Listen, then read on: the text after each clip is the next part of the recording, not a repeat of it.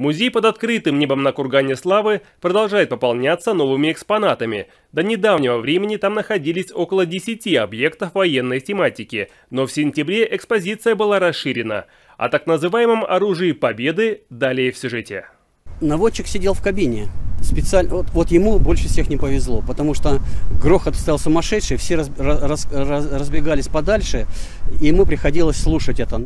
С такой спецификой работы нужно было мириться оператору одного из самых грозных орудий Красной Армии. Реактивная система залпового огня БМ-13, получившая прозвище «Катюша», участвовала в самых важных боях Великой Отечественной и наряду с легендарными танками Т-34 стала символом победы над захватчиком. Это являлось самым грозным оружием того времени. Последователями РСЗО являются наши современные вооружения.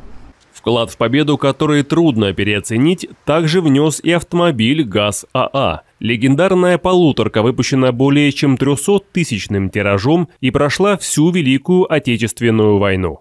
Обычно ГАЗ-АА использовался для перевозки личного состава и э, боеприпасов, грузов и так далее. Но в данный момент э, установлена э, счетверенная зенитная пулеметная установка на базе «Максим». Грузовик получился очень живучим и ремонтопригодным. В его кузове могло разместиться как грозное оружие, так и необходимый провиант. У многих ГАЗ-АА ассоциируется с дорогой жизни на замерзшем Ладожском озере. Она столько рейсов сделала в Ленинград блокадный и обратно, что ну, не поддается исчислению. И все практически э, водители, которые были на, эти, на этих полуторках, считались настоящими героями.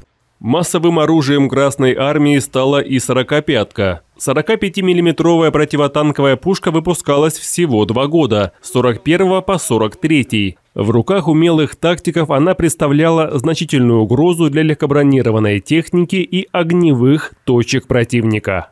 И ее даже использовали в населенных пунктах, в городах больших, для того, чтобы уничтожить опорные пункты противника.